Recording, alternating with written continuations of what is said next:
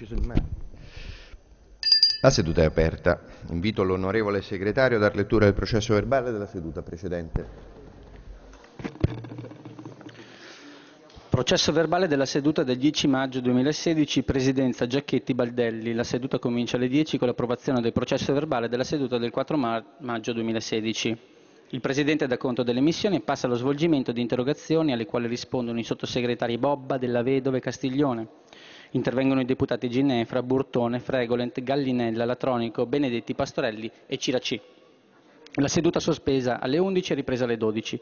Decorsi i termini regolamentari di preavviso si passa al seguito della discussione della proposta di legge numero 3634. Interviene per un richiamo al regolamento il deputato Federiga, cui rende precisazioni il Presidente. L'Assemblea respinge le questioni pregiudiziali di incostituzionalità Molteni numero 1 e Rampelli numero 2 dopo interventi dei deputati Molteni